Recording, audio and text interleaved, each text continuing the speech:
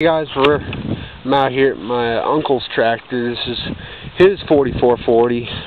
It's got no duals on it. It's pulling the 930 discbine, which he was mowing with today too. I also drove when uh, he had to go leave. Here it is though.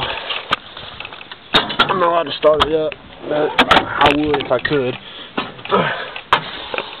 Well, this is his tractor. It's a nice one. It's older than my my cousin's, the the one that I was driving mostly today.